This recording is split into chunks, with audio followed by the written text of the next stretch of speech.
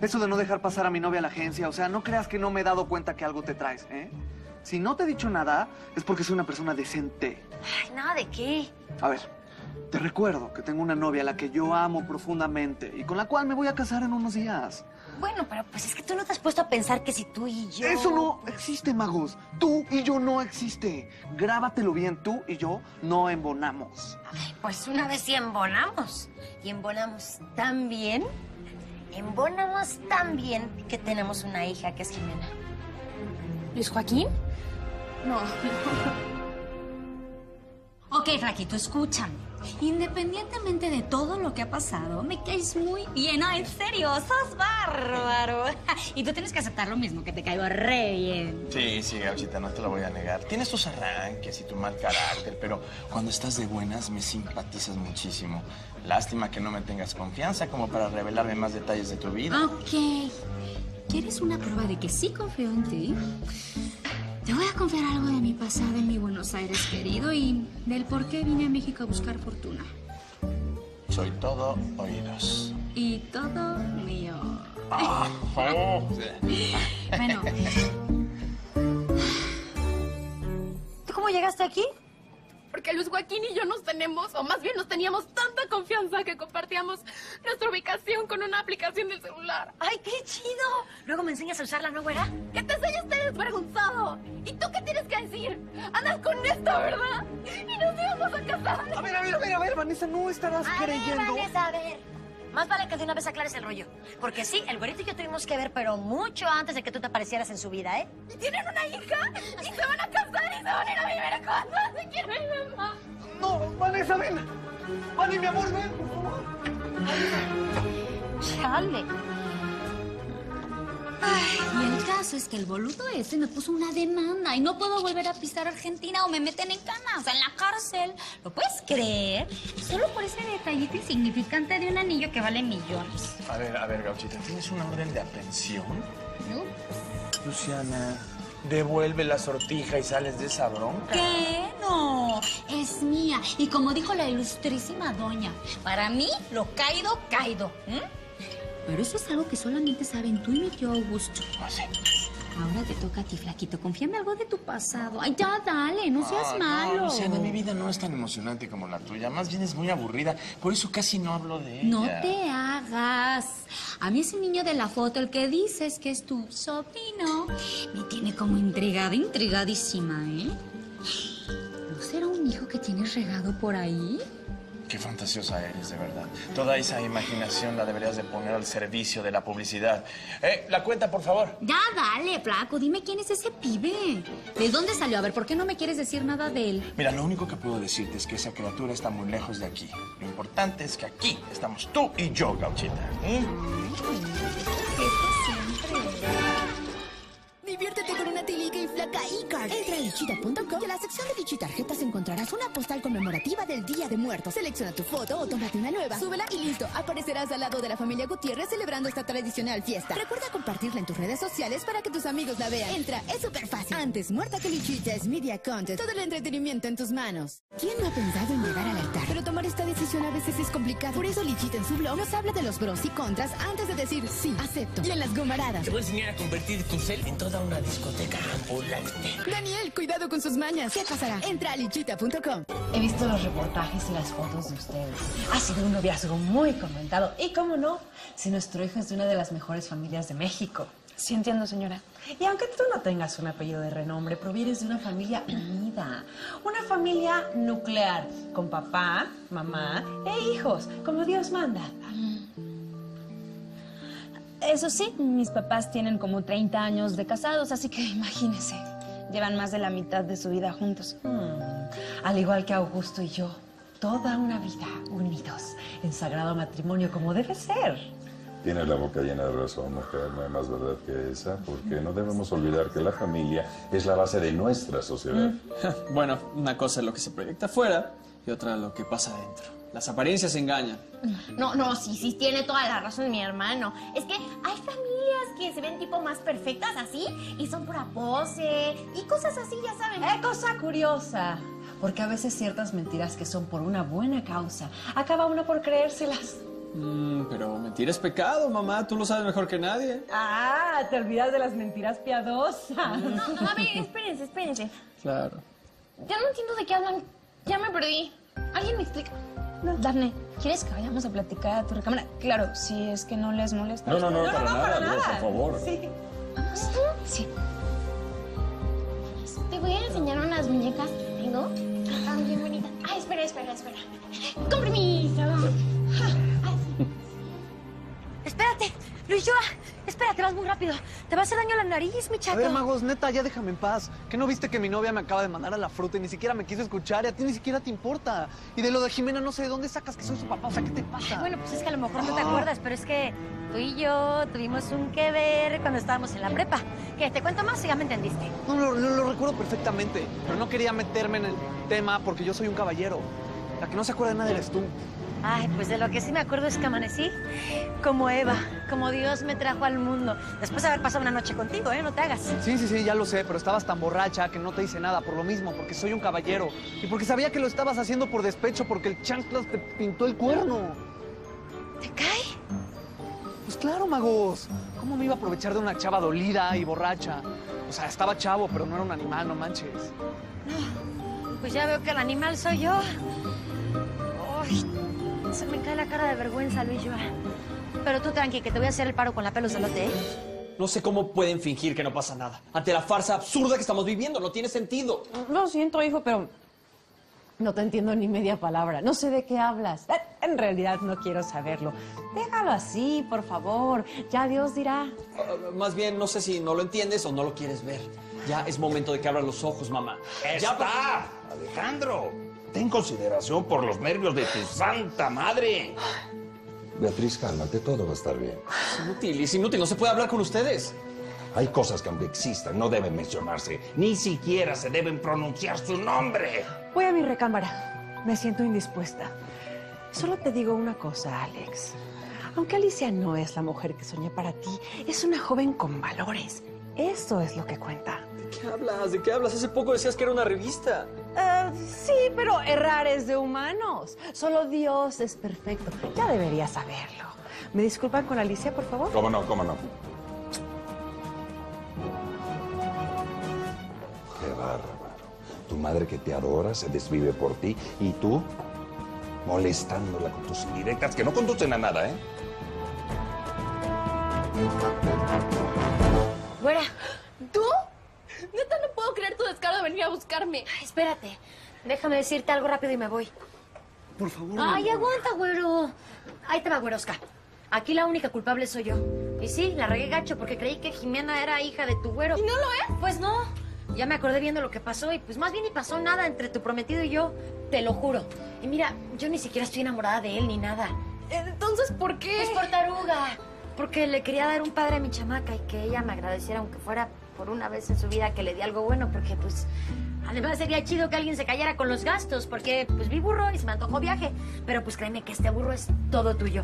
Y es un gran hombre y te ama. Ándale, haz tu lunch. Échale. Es Joaquín. Mi amor. Ya sé. ¿Te quieres casar conmigo? Sola. Como la una. Que mi hermano y tú anden. Hacen una pareja así, tipo película de Hollywood. Ay, ya. ¿Te acuerdas que un día en tu casa te dije que me encantaría ser tu cuñada? Está increíble que sí se haya cumplido, ¿no? Y bueno, cuéntame, ¿cómo vas en tu escuela nueva? Ay, pues ya ves que yo quería estudiar en línea, pero pues aquí todos se pusieron tercos para que entrara una prepa normal. Pues con tal de no tener más broncas, pues dije que sí. Bueno, a veces el ambiente donde nos toca estar no es precisamente el que quisiéramos, pero acuérdate que tu ánimo no tiene por qué depender de lo que digan los demás. Lo único que importa eres tú. Pues gracias, pero pues por mí que digan lo que quieran. Ya con acabar la prepa de una vez, pues lo demás me vale. De todos modos, no voy a ser amigos ni nada de eso. Bueno, tú sabes que si un día quieres platicar o si necesitas algo, lo que sea, me tienes a mí. Te prometo que voy a estar mucho más pendiente de ti. Tú y yo somos amigas, ¿no? Sí. Y si termina siendo parte de mi familia, obvio mil veces mejor. y pues pues siempre llega el momento en la vida de una chavita en la que le cae el 20 y dice, pues, ¿qué onda, no? Y se dice a sí misma, mi misma, ¿qué onda? Y pues a nosotros las mamás nos toca pechugar y contestar, ¿me entiendes? Muchas cosas, pero no te entendí nada. Estás hablando un poquito raro, Magos. Bueno, pues entonces así derecha la flecha. ¿Sientes como que necesitas un papá? ¿Quieres saber qué onda con él? ¿Te da tristeza cuando piensas en él o, o cómo ves ese rollo? Casi nunca pienso en él. Cuando me preguntan que lo conozco, les digo que no y no me pongo triste. Aparte, yo no necesito papá. Mi abuelito siempre me apapacha mucho y con eso es suficiente. ¿Te cae? Sí, me cae. A veces sí quisiera conocerlo o saber algo de él. Pero si no se puede, no le hace. Yo me puedo esperar que me cuentes de él cuando tú quieras. ¿Cómo te fue? Se dieron un agarrón, me imagino. Sí, sí, mis papás y yo discutimos, pero no quieren escuchar razones. Es evidente que mi mamá sabe que soy gay, pero no quiere tocar el tema. Sí, algo así me imaginé. Ay, Alex, lo siento mucho. Debe ser muy duro no tener el apoyo ni la comprensión de tus papás. Sí, pero también a estas alturas creo que ya no me importa. Acabo de darme cuenta que no tendría caso vivir mi vida libremente, siguiendo mi orientación. ¿Pero cómo? ¿Por qué no? Pues es que me enteré que Kenny, mi ex, se comprometió con la modelo. Así es que él también va a vivir una mentira. Uf. Uy, qué mal. No, no, no, no me parece justo para él que haga eso. Bueno, tampoco suena justo para ti. Bueno, ni, para mí. Ay, no. Ay, la verdad es que ya no sé si lo de casarnos tú y yo esté bien. Y, y más que nada si te haga bien a ti, Alex. Yo tampoco lo sé. Ay, bichita, es que todo lo dices así como si no hubieras estado a gusto. Se me figura que no te atendieron como debe de ser. No es eso. Lo que pasa es que la familia de Alex es como tan rara y tan fría que no sé. Lo que sí es que aquí en nuestra casa se siente mucho más el calor de hogar que en toda la mansión de los de Toledo y. Mondragón. Sí, es raro. Bueno, pero lo importante es que ya estás acá. Ahora sí, nosotros nos vamos a dormir. Nos vemos, mijo. Bueno, pues me llevan. Buenas noches. Adiós, chiquilla. Tú espérate y ven aquí. Siéntate. No te quise decir nada delante de mis papás. Pero ya supe que estás dejando tirada tu chamba en icónica y eso sí me da coraje. ¿Haces quedar mal a doña Fátima que te recomendó? Ay, no. Seguramente la bola de chismosas te fueron con el cuento de que me salí, no sé qué tanto, pero la verdad es que solamente fue un ratito, no fue para tanto. Es que tú la agarras como chacoteo. Pero estar ahí no es un juego. Doña Fátima es un pan de dulce, pero si le sigues quedando mal y la agarras en sus cinco minutos, habla a recursos humanos y te deja sin chamba, magos. Ay, pero ¿a poco tú no me echarías la mano para que me volvieran a contratar? Si te despidieran por algo injusto, sí. Yo sería la primera en echarles pleito. Pero si me quejo de que Icónica le paga sueldos a mucha gente que no hace nada, no tendría cara para defender a alguien irresponsable como tú. Bueno, ya era justo que alguien le pusiera un alto a magos, ¿o no? ¿Segura que no quieres un pedazo de vaca? Hombre, se ve que está buenísima. Braulio, las vacas son sagradas. Pero bueno, ahí la llevamos con tolerancia y respeto, ¿no crees? Han sido días de ajuste, pero no está mal. Oye, ¿cómo ves que estoy por cerrar unas cuentas nuevas para la agencia? Épico, ¿no? Ujú. Qué buena onda. Pero me da tanto gusto, en serio, que te eleves de nivel. Eleves de... ele- LOL. Mira, Brisa, en el mundo material le llamamos ascender de puesto. Y sí, estoy contento por eso. Sería más lana y en una de esas hasta me puedo ir a un depa más grande y te dejo este para ti solita. Bueno, a ti, a Krishna y a Ganesh, ¿no? ¿Qué tan vigente será el matrimonio en estos tiempos? Para la generación de mis papás lo era todo. ¿Qué hubo? ¿Qué hubo, Lichita? Que yo te hacía dormida en la mesa. ¿Ese grifón de dónde salió? Ay, quién sabe, pero a ver si otro té me calma la moquera. Ay, como que te veo medio roja. Se me hace que te está dando fiebre, magos. Ahorita te pongo el agua para tu té, porque la gripa sí te está tumbando en serio, ¿eh? Vas a decir que está bueno el encaje, pero no tan ancho. Pero, ¿me podrías hacer el paro y decirle a doña Fátima que mañana no voy a ir a chambear? Ay, porfa, hermano.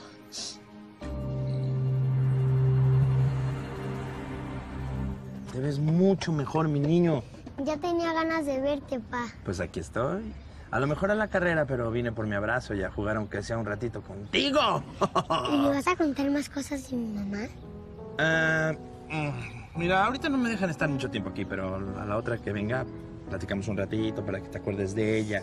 ¿Sale? Porque me tengo que ir muy rápido. Señor Duarte, qué bueno que lo veo. Mira, Hay un tema muy importante del que necesito hablar con usted. Que me esperaba.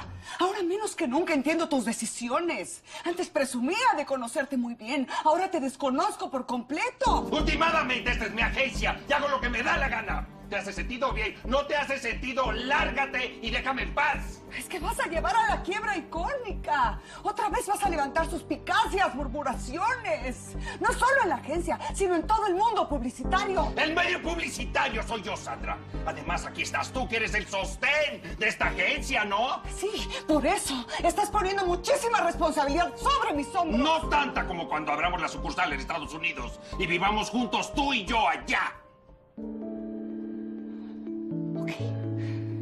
¿Ok? De acuerdo. Entonces al rato voy a convocar a una junta para dar a conocer la reasignación de todos los puestos. Sandra, ¿Sí?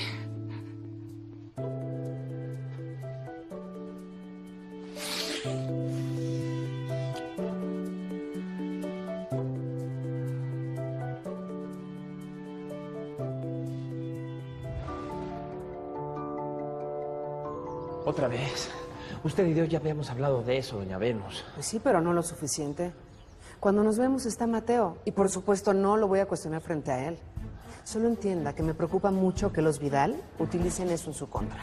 Le agradezco que sea neutral y que pudiendo juzgarme a la ligera no lo haga. Cuando supe que los Vidal planean usar en su contra sus antecedentes violentos en la cárcel, la verdad no quise enterarme de lo que usted hizo allá adentro.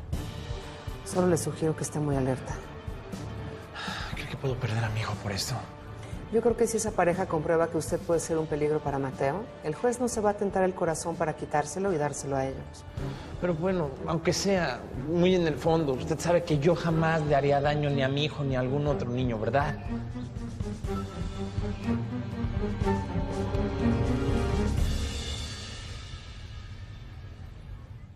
Señoras, señores, nos convocamos a esta reunión por lo que se comentó hace tiempo, con respecto al reordenamiento de puestos dentro de Icónica. Ahora sí van a ver a alguien caer estrepitosamente de su pedestal de guacales. Compadezcan a la botarga.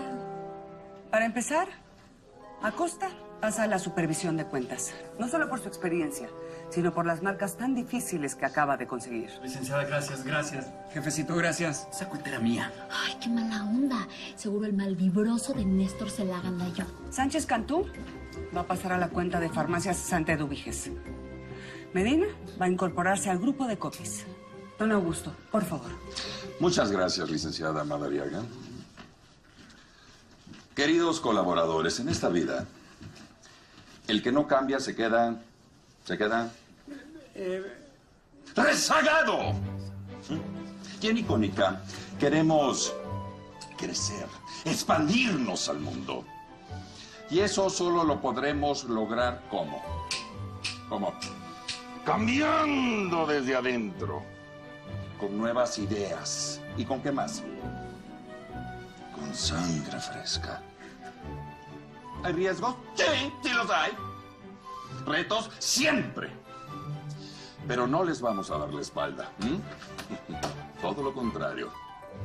Ya escucharon algunos de los cambios que mencionó aquí la licenciada Madariaga. Pero quiero ser yo que mencione uno de los reacomodos más importantes en la agencia. Se trata de la Dirección General Creativa, que a partir de la semana siguiente estará a cargo de... de ti. Tú. Sí, tú. Alicia Gutiérrez.